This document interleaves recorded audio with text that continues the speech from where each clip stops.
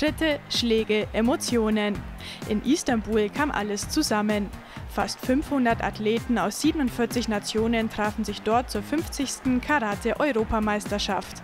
Neben Medaillen stand dabei vor allem die Qualifikation zu den Europaspielen in Baku im Vordergrund. Die Top 6 jeder Gewichtsklasse qualifizieren sich automatisch.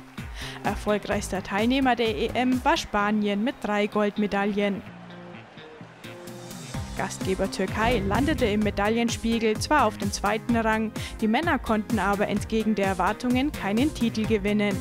Das türkische Team wird mit allein fünf männlichen Karatekas aber das größte Team nach Baku schicken.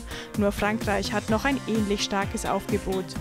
Deutschland konnte in den Einzelergebnissen nur eine Silber- und drei Bronzemedaillen holen.